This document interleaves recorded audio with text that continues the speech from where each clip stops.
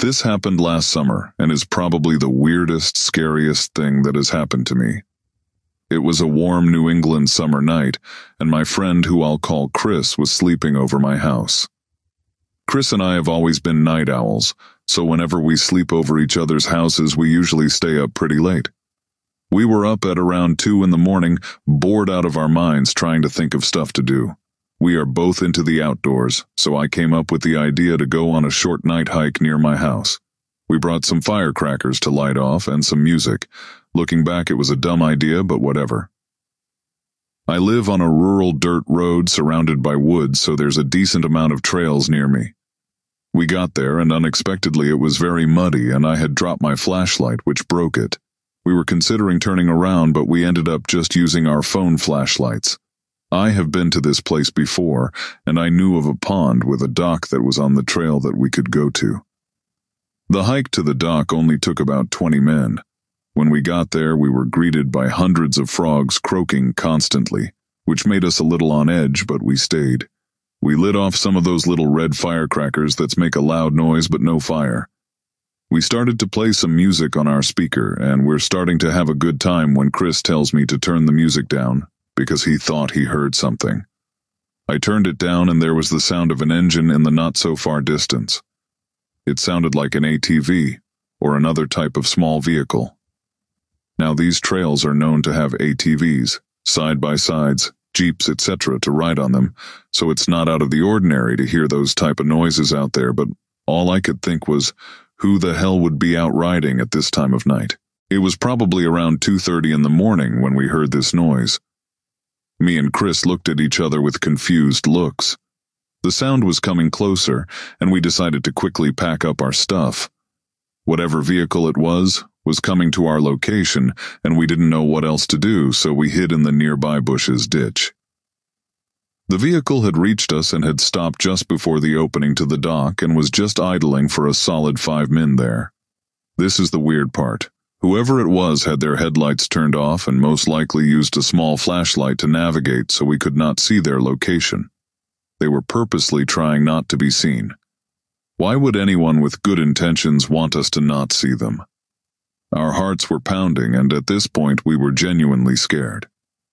After five men, the vehicle left the opening and headed off in another direction, once we thought it was far enough away, we booked it back to the car, just using my phone screen light to see.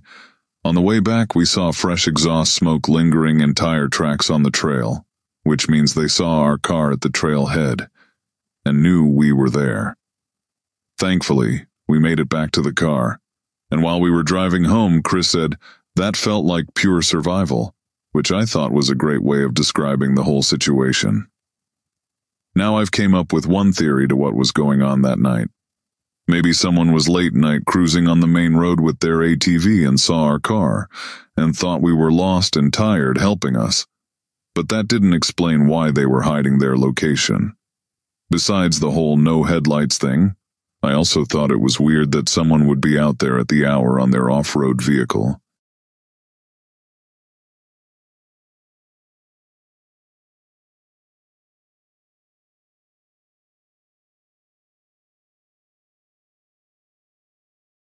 I, at 17F, was out doing some shopping after school, so it was dark by the time I decided to stop by one of my favorite sushi places, which is near a grocery store and other shops, all close to my home. The sushi place is right next to a boba shop, and I peek in to try to see if a friend of mine was working so I could say hi. But I didn't see them, so I turn around and I see this guy standing there trying to get my attention. Miss, excuse me? I just stare at him for a second, unsure if I should really be talking to this stranger, before he asks if I have any spare cash for him to buy a drink. I tell him, I don't have cash on me, sorry. And he says it's okay, and I walk into the sushi place. While I wait for my food, I wonder if I should have just offered to buy him a drink. Because I'm the type of person who loves to help people, and I just feel bad ignoring those in need. I get my food, and am literally about to exit the store when the guy from earlier walks in, he stops by the door, asking the cashier if he knows how he could get help because he thinks his car got stolen and that he was from insert name of neighboring city. I pause. Cause again, I felt bad for not helping him earlier and I was curious. I buy him a drink this time, even offered to buy food. I showed him the menu and he glanced at it, then asked for fried rice, which wasn't on the menu, but I was like, okay, and just bought him the drink. He tells me thanks and asks if I know anything about his car, then randomly asks me if I know where a cold stone is. At this point, I'm thinking, if I were either homeless or my car got stolen, Cold Stone is the last place I'd want to be. But I explain to him that it's not within walking distance. He's like, oh, and asks me if I would be able to show him the way and maybe give him a ride there. He pulls out cash from his hoodie pocket saying, I could pay you back $10 for the ride and the drink. Now I'm thinking, you had money and let me buy you a drink. And why the hell would I give you a ride? I need to leave. So I say, no ha ha. the drink was my treat. Hope you get your situation figured out. I leave the sushi place, he exits too, and starts walking behind beside me. I get scared and decide not to walk back to my car. Instead, I speed walk into a Rite Aid. I turn into an aisle and see that he's still following me. Miss? Lady, excuse me. I finally turn around and ask if he needs anything else. You were going to give me a ride? No, I can't. Oh, okay, sorry. He walks away. I pace around the back corner of the store for a while, terrified if he's still in the store or waiting for me outside. W. My phone had died, so I left it in my car. In the store, I see a dad with his daughter, looked like a middle schooler, and I go up to them, finally start crying, and say there was a man talking to me, and if they could please walk with me back to my car. The dad asks where I parked, agrees, and a few minutes later we leave Rite Aid. I'm still in tears, poorly explaining the situation. I point out my car as we approach. The dad says, Okay, we'll wait here until you leave. Make sure to check your back seat. I do, and I even check my trunk because I'm so paranoid. I thank them over and over before driving off, and I just sobbed the whole way home because I don't know what exactly was going on with that man or why he wanted to go to my car. I get more scared thinking of the fact that I'm a 5'1 girl who probably couldn't defend herself well if it came down to it. Maybe it was a misunderstanding? But what business did a grown man have asking a teenage girl for a ride? I was genuinely terrified. Yes, I shouldn't have been out so late. I should have had my phone on me. I should have ignored that guy. Sorry for being a girl who just wanted sushi at night and to help someone who looked like they needed it. It's hard to trust people, clearly. Happy to be safe at home now, although I will definitely feel uncomfortable shopping there or eating sushi again, which is unfortunate because I frequently do both.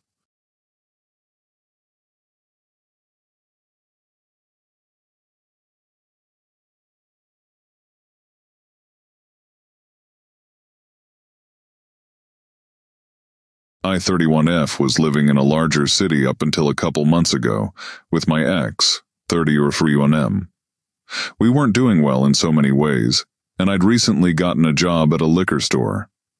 We had a lot of regular customers, who I knew to a pretty high degree by sight, name, after only about two weeks.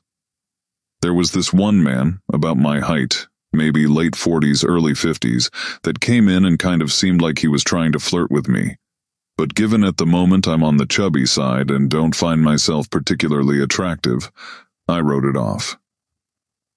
This one day, I'm going on my lunch, and on my way to my car when he pops out of nowhere in the parking lot. He tells me he's noticed me for a while. I'm so beautiful and kind, and he really wants to take me out to dinner. I tell him sorry, but I'm in a relationship. He says that's fine, just as friends because he really wants to know me. He hands me his card, which is just his name, number, and email, and I leave, thinking that's the end of it. Cue two weeks later.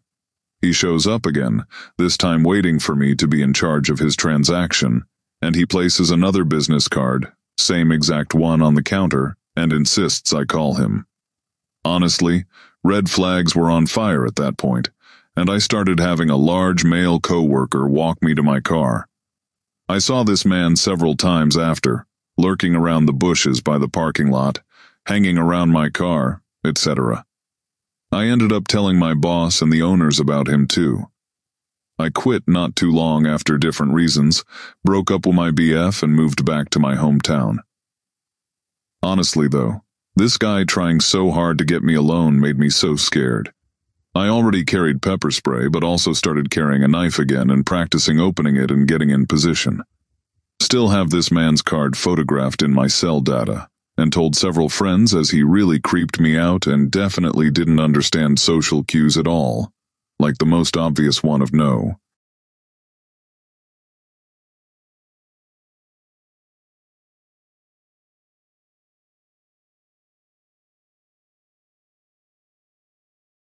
Almost everyone has a first memory. Mine was the time that I was almost kidnapped in plain sight from a grocery store around age four. For background, I am an only child who was raised by two working parents. Occasionally, a stay-at-home mom down the street would take care of me when I didn't have preschool. Her oldest daughter was my friend and about the same age as me. Her youngest daughter was two years younger than us. We will call the mom Linda and her daughters Eva, 4, and Carla, 2, all fake names. This story takes place around 1999 2000 in North Carolina. One day, while I was under Linda's care, we all loaded up in their van to take Eva to dance class. After walking into the dance studio and getting her checked in, Linda told Carla and I that we would be going to the grocery store. The grocery store was in the same shopping center as the dance studio, literally two doors down.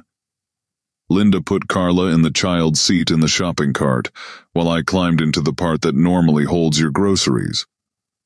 Upon entering the grocery store, we were stopped by an elderly couple, one male and one female, that kept saying how cute Carla and I were. At first, Linda just nodded and agreed, and began to make friendly conversation. She told them that Carla was her daughter, and I was just a friend. After this, things became much more sinister. The old lady suddenly started to try and pull me out of the cart, telling Linda that she already had enough children and they wanted a child so badly. Thankfully, I was big for a four-year-old and squirmed around in the cart until she let go of my shirt. Linda was stunned and just tried to pull the cart away from them, I just remember Linda rushing away into the grocery store as the old lady kept shouting, Please, we just want a child. I don't entirely remember what the older man was doing during this interaction, but I remember him being there. I also don't remember Linda ever telling grocery store staff about what happened. I am sure she was shocked. I mentioned this incident to my mom within the last few years. She was never told by Linda that anything happened. Anyways, there is a small chance that I completely misremembered this event. I am not naive to the plasticity of human memory. However, the overwhelming emotion associated with this event is fear. Also, no one in my family even knew that this happened. Thanks for watching the video till the end, guys. Have a nice day.